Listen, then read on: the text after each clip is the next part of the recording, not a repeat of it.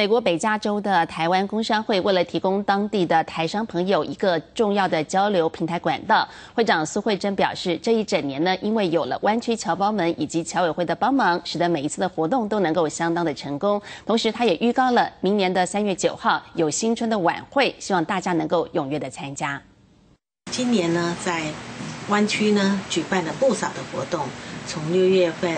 啊有朱奇的演讲。七月份，我们参加了华运，也举办了我们的第二代有才艺的比赛。那在八月份，我们协协助了侨委会举办了工商研习班。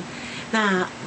这个研习班呢，我们请到了湾区从 Google 公司请过来的呃主讲者，还有我们外贸处的李主任，还有李如秋，还有我们的前会长王思美，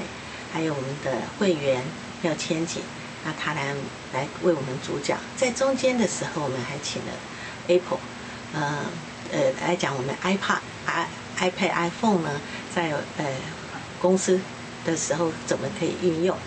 呃来帮助。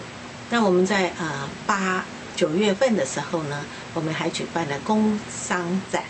那也感谢湾区的朋友都来参加。那九月底呢，我们也去参加我们台湾的国庆，还有侨委会举办的一些活动。也参加了北美的世界会议。接下来三月九号，我们有新春晚会，欢迎大家来参加。